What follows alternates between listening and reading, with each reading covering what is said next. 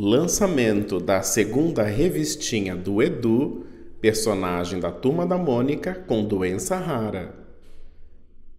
A Sarepta, líder em medicamentos genéticos para doenças raras, e a Maurício de Souza Produções convidam para o lançamento da segunda revistinha do Edu, novo personagem da Turma da Mônica com doença rara. A segunda história trata dos medos do personagem relacionados à evolução da distrofia muscular de Duchenne, doença genética caracterizada pela deterioração muscular progressiva.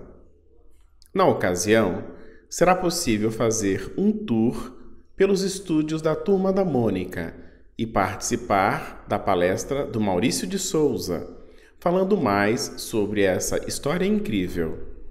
Também haverá uma palestra da pediatra Ana Lúcia Langer, falando do seu papel como médica e também mãe de um paciente com distrofia muscular de Duchenne. E ainda de Sheila Vasconcelos, diretora da comunicação da Aliança Distrofia Brasil, falando sobre as atividades feitas pelo Brasil e pelas associações de pacientes com a primeira revistinha. O evento ocorre na próxima terça-feira, dia 6 de agosto, a partir das 14 horas. Por favor, confirme presença pelos contatos até sexta-feira, dia 2 de agosto, com o nome completo e RG para liberação na portaria. Esperamos você lá! Serviço.